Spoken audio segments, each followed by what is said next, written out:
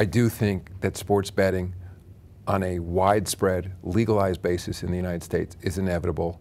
On your point about reducing the number of games, ultimately, I don't think that's something, one, that our, our fans necessarily want. Kobe's back. I'm going to finally learn the triangle, you know, since the Knicks are here in town and Phil's teaching it.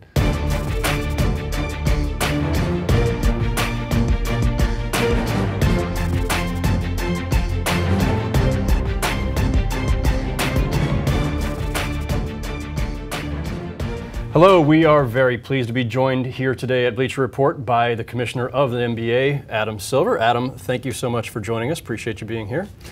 My pleasure.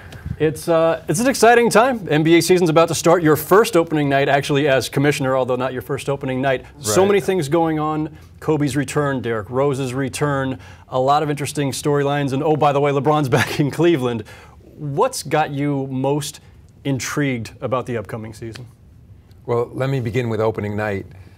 It's, of course, the first time that I get to give out the rings. Yeah. So that's what I'm most excited about at the moment, and especially to such great champions as the San Antonio Spurs and a first-class organization. So that's a treat. You know, it's a, it's, it's a privilege as part of this job that I get to do that. But I'd say generally, I can't wait for the season. Um, you got a taste of it in the summer league with some of the rookies coming in. You know, as you know, a much anticipated class as you said, Kobe's back. You know, I'm, I'm going to finally learn the triangle. You know, since the Knicks are here in town and Phil's teaching it. You There's watch actually, Spike's movie. And I'm going to watch Spike's documentary explaining the triangle once and for all. So it's really just back to basketball. There's so many, in, in my job, there's so many things that don't relate to what happens on the court that I have to focus on that at root I'm a fan. And I can't remember a time when there were so many interesting storylines throughout the league. I think it's a testament in part to the collective bargaining agreement. You're probably going to ask me about that, but I think it's working. I mean, put aside the financial side of it, I mean, the percentage of BRI and all that, but I think the system elements, as you know, and you covered it extensively, were designed to create a more competitive league in terms of the distribution of players. And we're seeing that, and I think in addition, the fact that as the popularity of this game grows, more of the best athletes and more of the best athletes the, around the world are turning to basketball. And I think you're seeing that in terms of the quality of the play on the court. Yeah, I would agree. And obviously, the Eastern Conference becoming very competitive again. The West is obviously brutally competitive. So there is, I think, to a degree, a lot of parity, especially at the top of each. I wanted to ask you about. You did mention that a lot of the job, of course, is the off-the-court stuff. Right. Board of Governors meeting recently. Lottery reform did not pass. Now, tanking was a huge issue last year. You said yourself there's a, a corrosive effect, perception-wise, even if maybe it's not as widespread as people believe. Is lottery reform now dead or dormant? It, it's definitely not dead. So, as you know, a majority of the teams, 17 teams, voted in favor of the specific proposal that the competition committee had recommended to the board, but it requires a three quarters vote to change our playing rules. And so, since a majority of the teams want something different, it's definitely not dead. I don't think there's quite a sense of urgency. As you know, we've tinkered with the draft lottery format multiple times over the years. And as I said the other day, I'm not necessarily dissatisfied with where we've come out in terms of the odds for the worst performing team versus the you know the other teams that don't make the playoffs. But you said it. I am concerned about the perception, not just the perception um, that teams may not be doing everything in their power to win games. But what I see as the increased pressure, actually, on general managers and even owners in this league to underperform. I mean, that's what's new. I don't remember any time in my history. There were, look, the, the very purpose that the lottery was put in place, and that was before I got to the league, was to disincentivize teams from having an incentive to have the worst record. I'm not going to use the T word that you use. But what's happened now is, and I think it's the advent of analytics and a new genera generation of general managers and a lot more sophistication among the fans as well, that fans have adopted it as, in some, at, at least there's a perception that it's a winning strategy.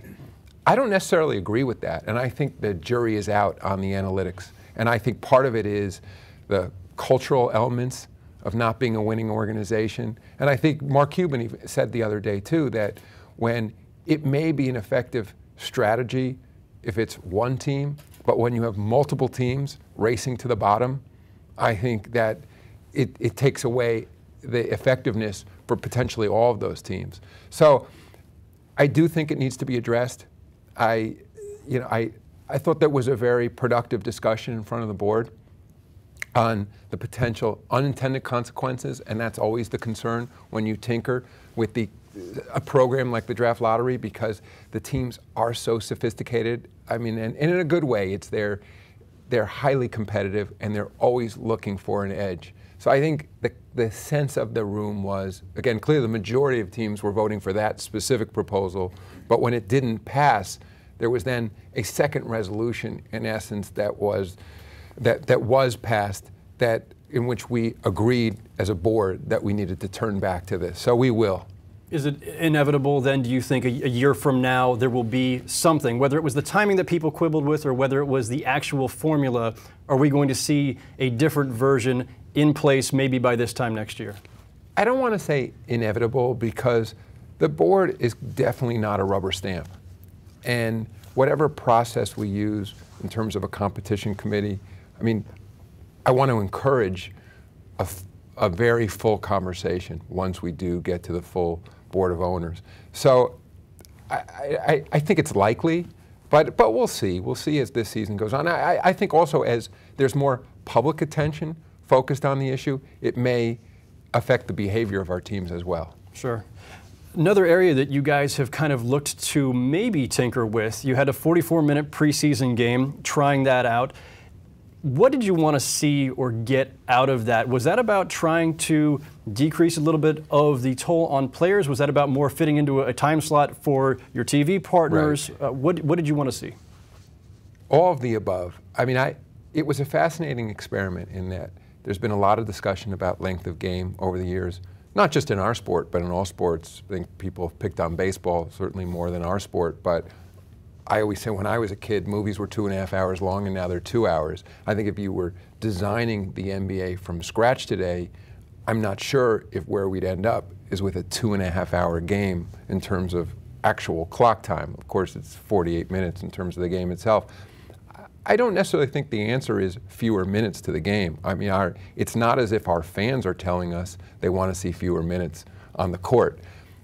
Clearly, our fans are telling us that we should take a fresh look at the format. I mean, remember in the 44 minute um, experiment, it wasn't just the reduction of clock time, we also took out two of the commercial breaks as well. Now, we have to balance the commercial needs of the league and the players against the entertainment value and the running time as well. But, I, but what, what was also beneficial with a 44 minute experiment is that it gets people thinking about the issue, maybe in the same reference back to the draft lottery, in that there's so many smart minds out there outside of the league, frankly, yours included and your colleagues at the Bleacher Report, that when you do a 44 minute experiment, what you get is a lot of free research that people weigh in and say, well, maybe not 44 minutes, but you know, maybe you should look at the format, maybe you should change um, the, the actual schedule. And that, for example, that's something we continue to look at. It may be that and ultimately, in terms of the players, there are better ways to rest them than reduce the number of minutes. We're adding an all-star yeah. break this year, or we're, we're lengthening the break. Back-to-backs are, of course, an issue for players and our teams, and so maybe we need to begin the season a little bit earlier, reduce the preseason, go a little bit longer in June to space the season out a little bit more. So th those are all considerations. But the, the, good ideas continue to pour in after the 44 minute experiment. Yeah, no, and I, that was a very interesting discussion, as you said, that kind of got sparked by this. And players immediately weighed in with, look, we're fine with 48 minute games, but could we play fewer than 82? Now, I'm not even going to ask because I know that there are reasons revenue wise that I don't think the owners or players would ever go for that. But is it a reasonable uh, proposition to simply cut the preseason in half, start earlier, eliminate all back-to-backs if that's possible. Is that something that you think, uh, clearly the players would love to go that route. Is that a, a, a realistic uh, possibility for the league to pursue? Yeah, it is. I think that is something we'll take a close look at. I mean, there are rev revenue implications too for preseason. And when I say revenue implications, it's not just reducing the number of domestic preseason games. As you know, we've taken advantage of that opportunity that month of October to really grow our business internationally. I was in Berlin with the Spurs just two weeks ago. Then I went on to China with the Nets and the Kings.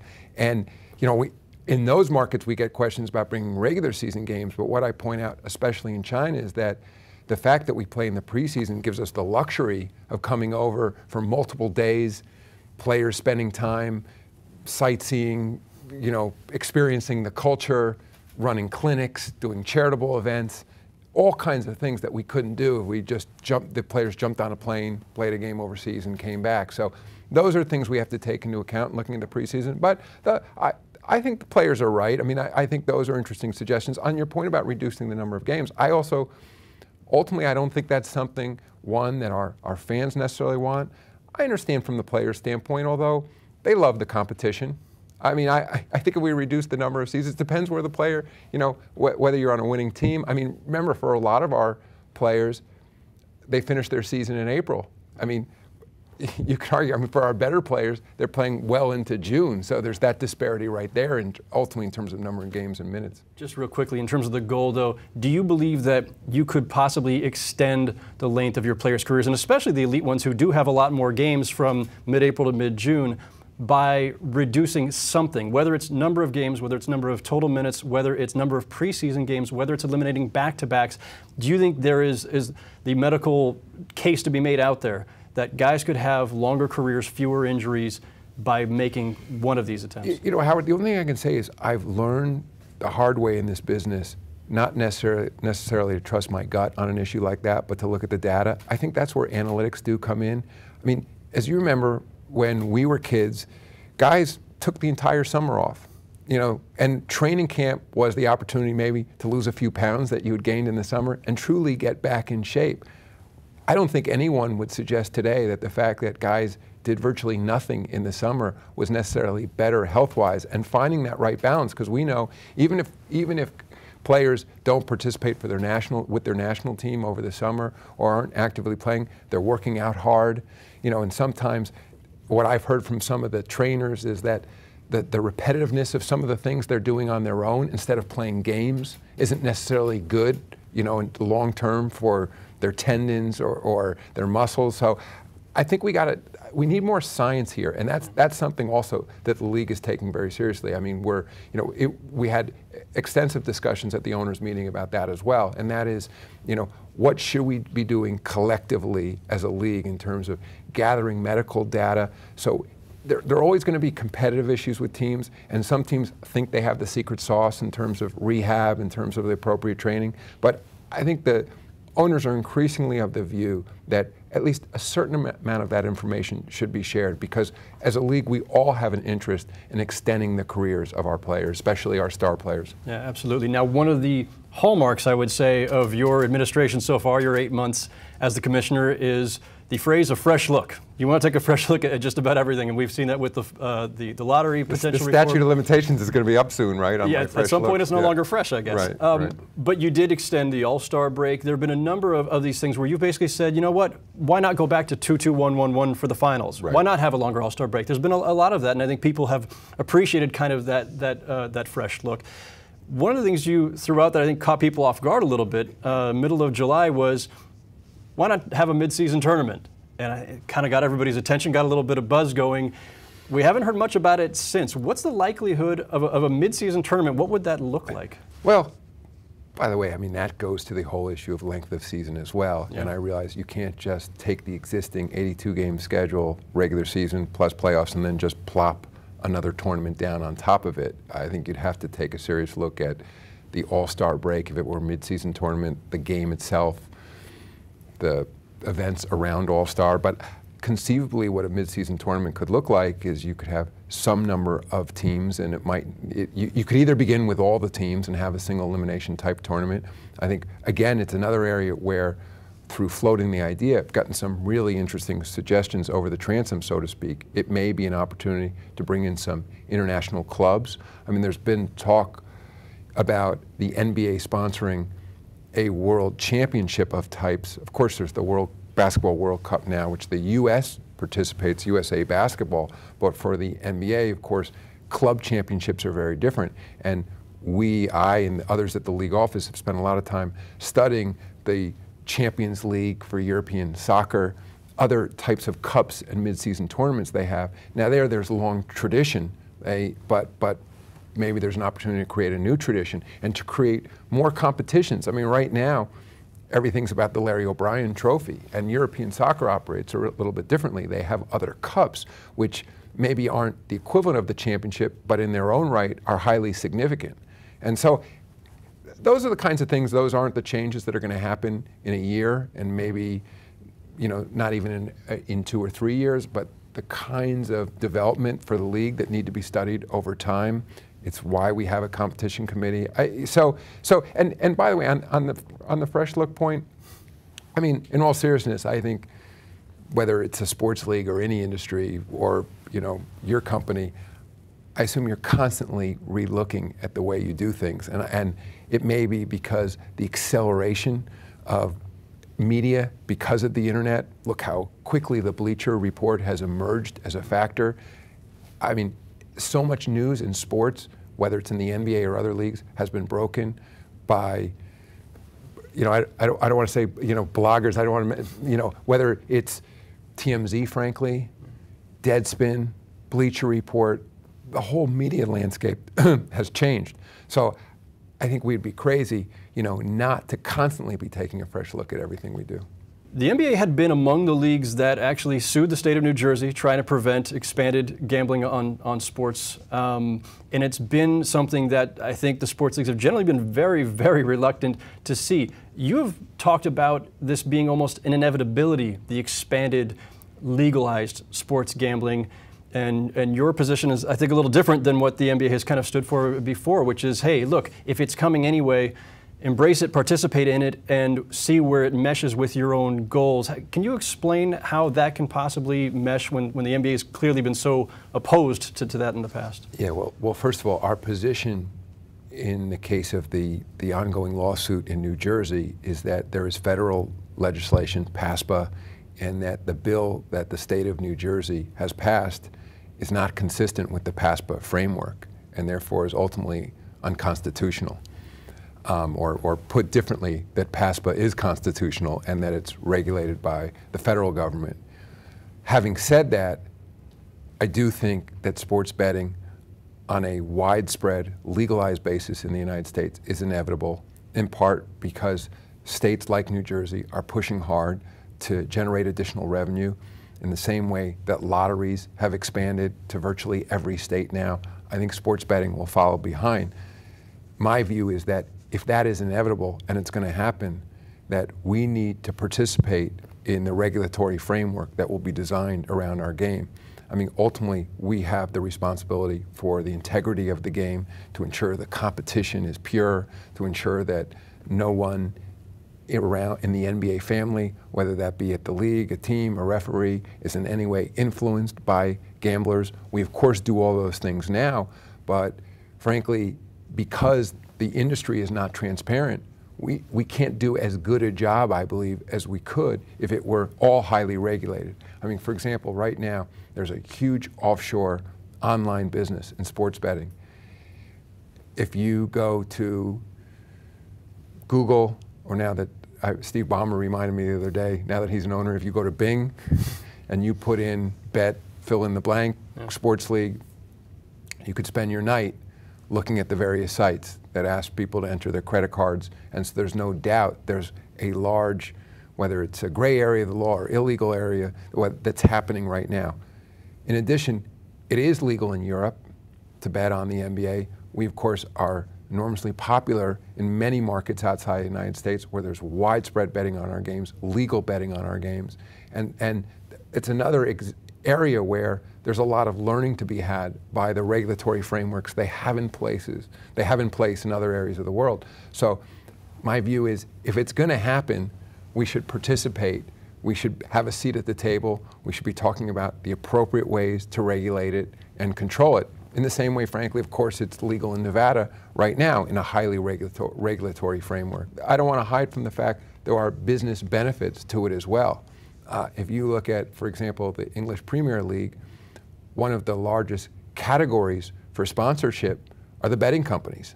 I mean, whether it's on the jerseys, whether it's on the the court side, the, the, the signs on the side of the pitch, you know, or the field, you know, and in, in that sport, obviously, where they don't have commercials, there's there's a whole different model.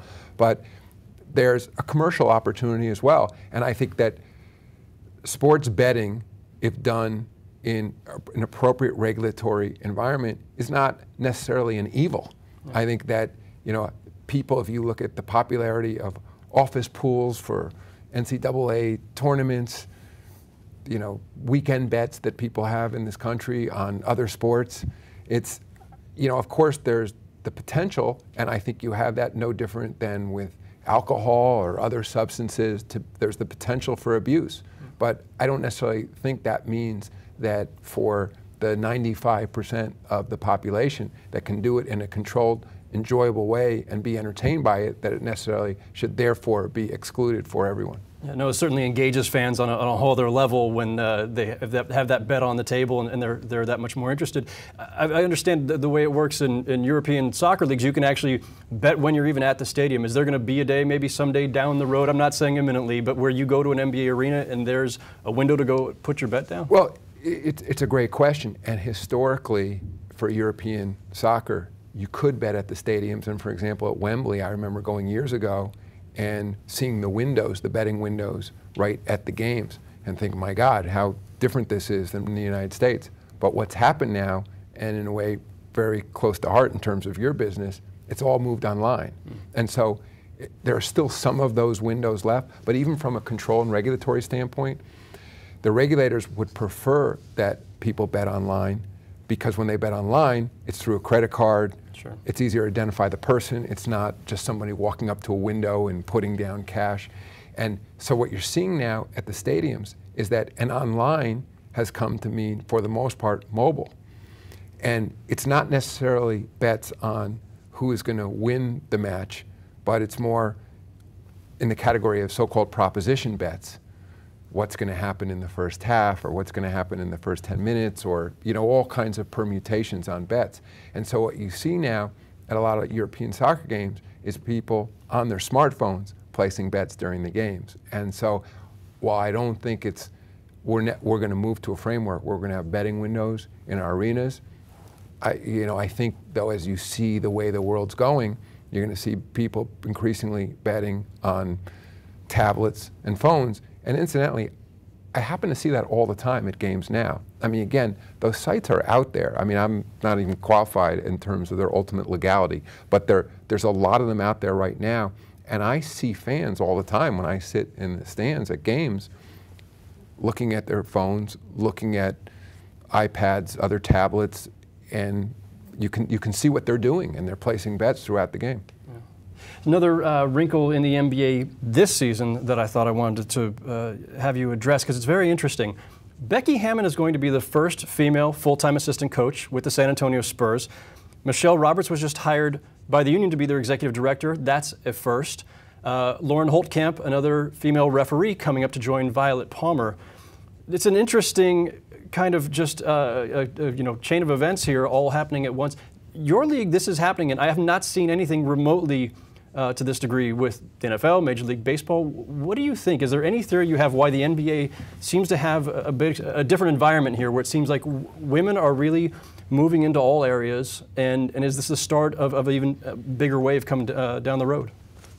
So I, I'm not qualified to comment on what's happening in other leagues. I'd say in terms of the NBA, so much credit goes to David Stern and to our owners and to the family around this league it's a very progressive environment.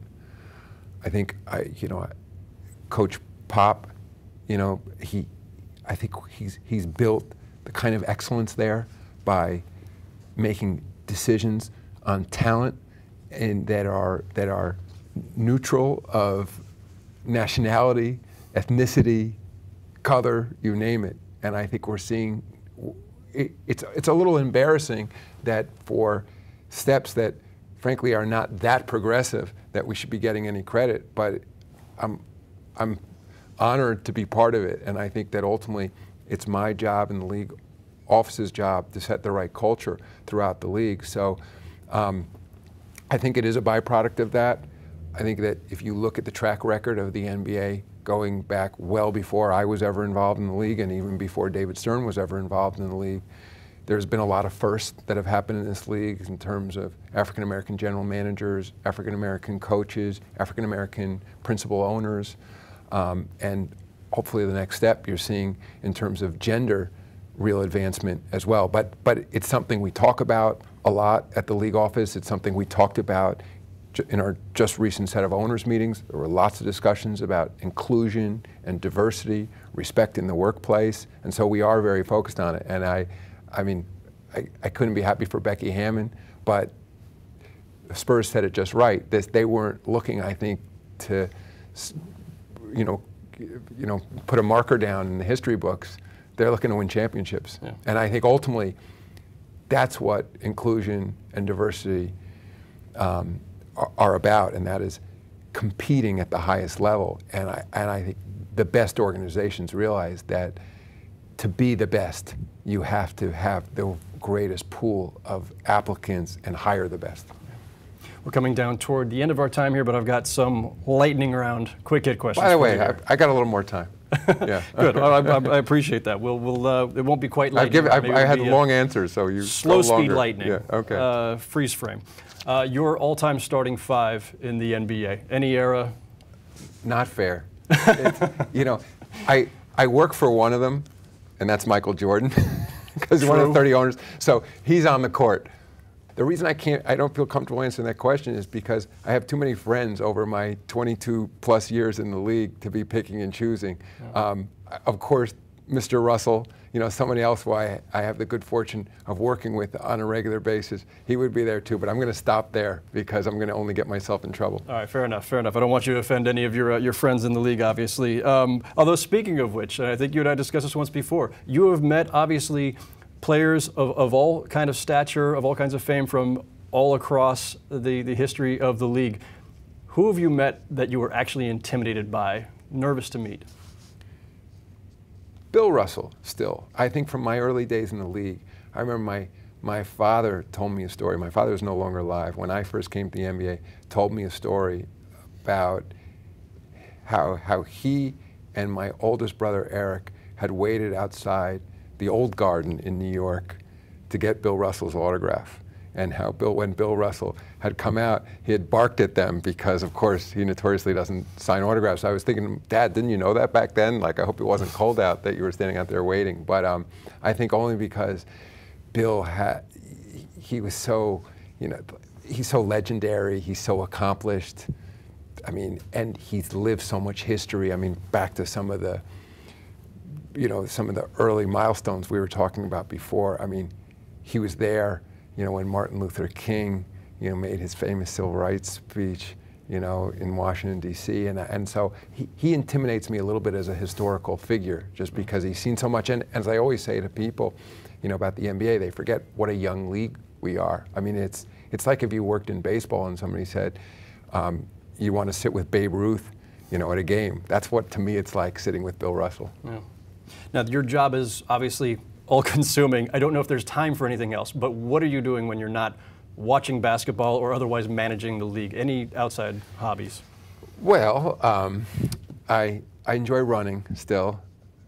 I think, you know, I've run two marathons over the years. I'm, I'm not running such long distances anymore, but I try to find time to run. Um, I'm fortunate to live near Central Park, and I have a dog. I have a Labrador, Labrador Retriever, and in New York, one of the greatest things about New York City is that before 9 a.m. and after 9 p.m., you don't have to have your dog on its leash on its leash in Central Park. So that's sort of a really fun kind of hobby, you know, relaxation for me, going into the park with my dog and throwing the ball and stuff like that. I I don't watch as much non-sports television as I used to. I, I find that it's pretty all-consuming when with the amount of NBA programming on, the amount of NBA coverage there is on the internet. But I love movies. You know, I, I, I try to get to as many movies as I can. Last one you saw? Oh my God, that's such an unfair question. I got to think for a second. we can we can move on. Uh, Steve Ballmer, new owner of the LA Clippers. You mentioned him earlier. A very uh, energetic guy. Describe him in uh, 20 words or less. he is the most enthusiastic person I've ever met. I sat with him at a Clippers game before he bought the team, and he was bellowing so loud. I mean, I, I generally don't sit with owners at games, but he wasn't an owner there. But people kept looking around like, what's that noise emanating from my row? And it was Steve yelling and screaming and just with crazy enjoyment and enthusiasm during the game. But uh, I should say on a serious note, he's extraordinarily smart. Again, he just attended his first Board of Governors meetings. He asked a lot of really good probing questions about materials. And I, as I said to him afterwards, talk about a fresh look. I think when you have a new set of eyes on materials that we've been historically giving to teams, whether it's the way we present our financials, whether it's the way we talk about basketball, and it's somebody as accomplished as Steve Ballmer, somebody who, you know, was the CEO of one of the most successful companies in the world. It's like, please, you know, come in the tent and like make suggestions to us. Yeah. Uh, we talked a little bit about innovation. So, three things that are still on the Adam Silver board, of, not things that have to happen, just things you'd like the NBA to at least consider. The format of the season is something I'm very focused on. And whether that means expanding it in a way that um, allows more rest for the players over the course of the season, means starting a little bit earlier, maybe going a little bit later. That's one of the things on my list. Um, we just did two new media deals in the United States. Obviously, we, we renewed with our great partners at, at Turner and ESPN and ABC. But I think there are enormous opportunities international, internationally, and, and not just revenue generating, but for much more comprehensive coverage. And that's as much about what these new deals were about. I was just recently in China. There's some media companies there that literally blow away anything that's happening in the United States in terms of the numbers of users of those of those apps on social media, the kinds of technology they're using. Um, so that's in, that's incredibly fascinating to me. And I say, lastly, just just to name three, I, I continue to be consumed with the way um, we can be represented digitally around the world. Uh, it's something I talk about a lot, and that is, well, the in-arena experience is critically important, and especially if you're watching a game on TV, if there's not an excited crowd around the game, you know, it's you're, you're not necessarily to be as, enthu as enthusiastic a viewer if you don't see people excited to be there. But having said that, such a minuscule fraction of our fans ever get to experience our game in the arena, not just in the United States, but I mean, we're, we're uh, in the United States, but more so internationally. And I think the ultimate goal is how do we replicate that experience? How do we make it feel when you're watching a game on television, when you have whatever mobile devices, tablets, and phones with you, that you have that sense that you're part of that larger community, that people are yelling and screaming, that you can react, that you can pick angles, you can look at replays.